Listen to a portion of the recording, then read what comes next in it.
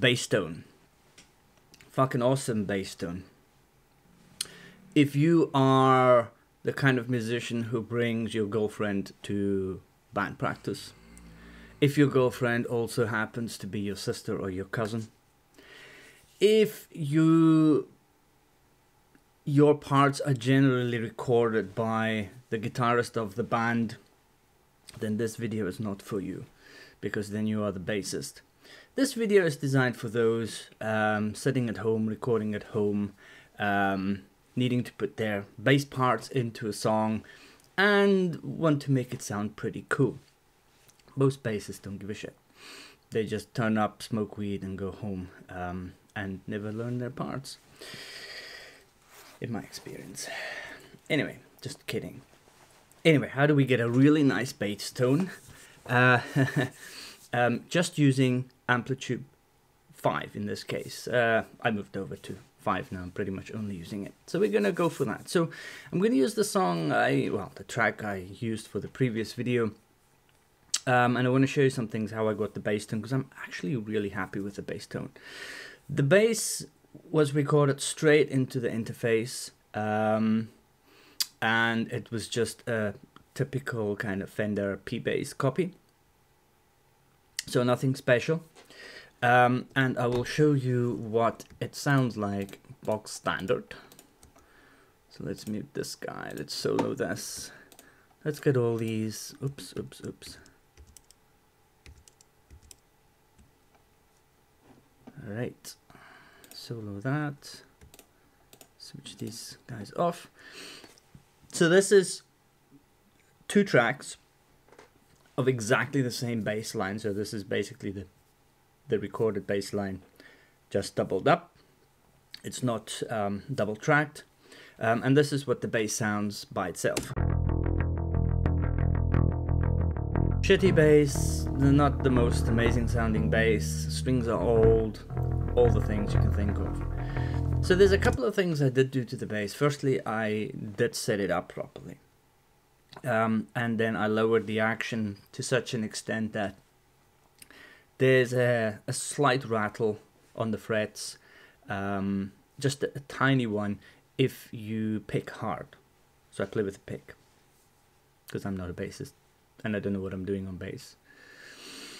So anyway, the point is, um, there are a lot of things that you can do to your bass to give it a little bit more. Because we're looking here for a nice growl, nice deep uh, sound, a nice full sound.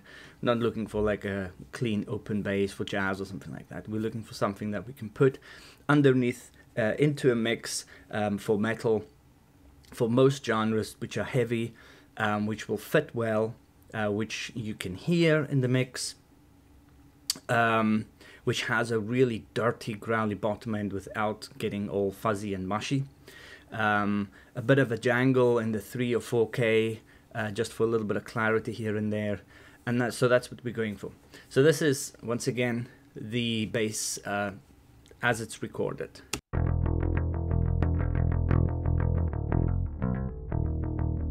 There's no compression, no nothing at this point. So I use Amplitube in two. Sometimes I use Amplitube and sometimes I use the Tech 21 uh, bass driver and parallel them. In this case, I'm only using Amplitube 5.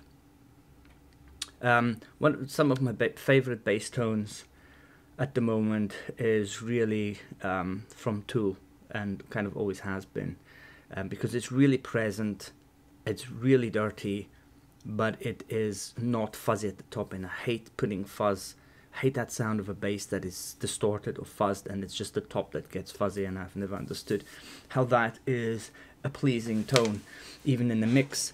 Um, I don't also don't think that it really supports um, the bottom end of the guitar rhythm tracks. So I prefer this tone. So what we're going to do first is one of the best bass amps in my opinion is the Marshall 800. So I'll show you the settings. That's if it ever comes up. So we've got the Marshall running here. Um, and it's kind of cleanish. Uh, got the Brit 800 cab as well. So basically the, the standard 800 uh, Marshall 800 cab. And this is what it sounds like.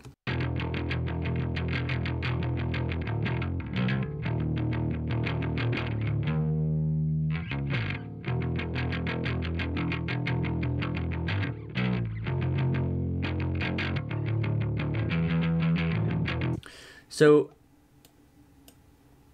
you could realistically play around with these settings and actually get a bass tone off that already. So you can see how I'm driving the bass and the treble a bit and the master, um, not too much on the preamp.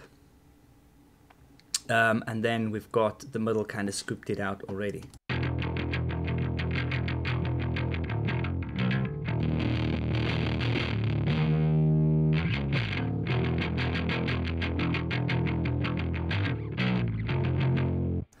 So the preamp was just pushed to such a point where it just kind of breaks up a bit. The other amp, so let's switch this one off, is a bass amp and a bass speaker. Now you can see that I pushed the gain up, uh, not too much compression, um, I switched on the ultra highs that gives you that bit of a jangle at the top, bass up, mid range down, treble up, um, and then pushing it a little bit. The speaker is again, this is the bass vintage. I think this is, um, I'm not so sure what this is supposed to mimic. It's probably an Ampeg or something. So we're gonna have decent tone from this. But as you can see here, we've given it a bit of drive with the diode overdrive. As you can see, the tone is quite low. And we're also using the using the tube compressor. It's compressing quite heavily. Okay, so when you combine the two, you get this.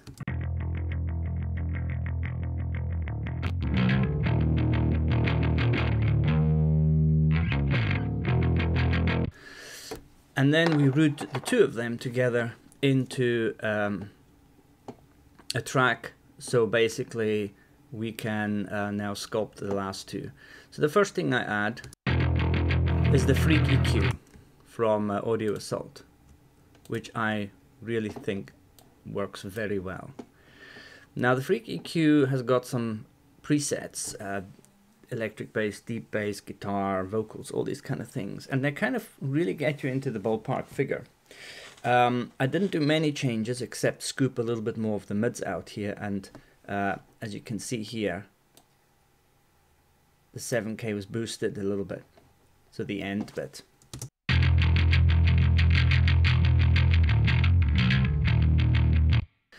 Then I put another comp on there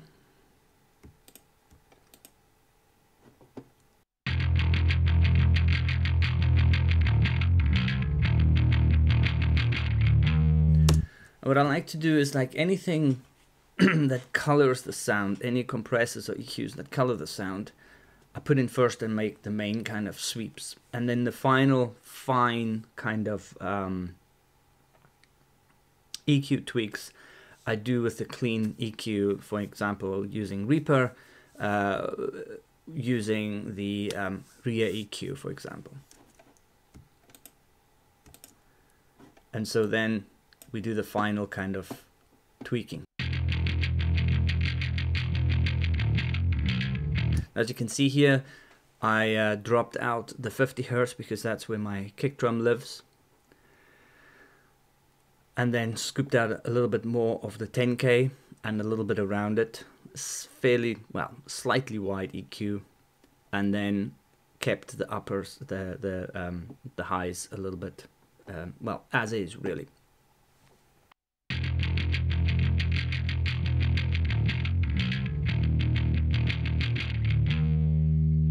So then you can hear it in the whole mix.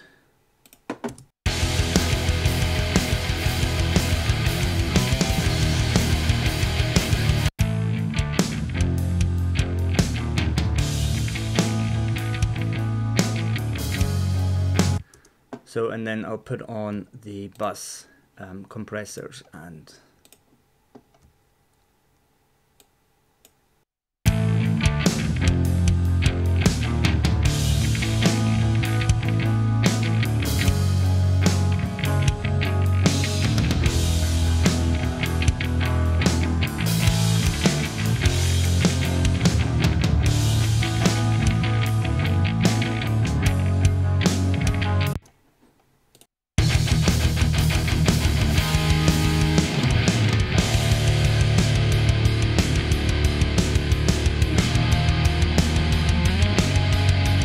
So let's recap. I mix uh, a JCM 800 and its own speaker with a little bit of dirt with a slightly driven, uh, slightly driven um, bass rig. That is then all compressed to suit um, and, and control the bottom end. Um, that is then subbed into a bass uh, uh, submix, which is then treated overall with EQ and compression and that is all done to taste. And I feel like this is at home uh, digitally. I think this is a pretty damn good bass tone because I find getting a good bass tone uh, with amps and stuff like that is just not the same as miking up a bass cab. There is something about the bottom end growl that you kind of is hard to get.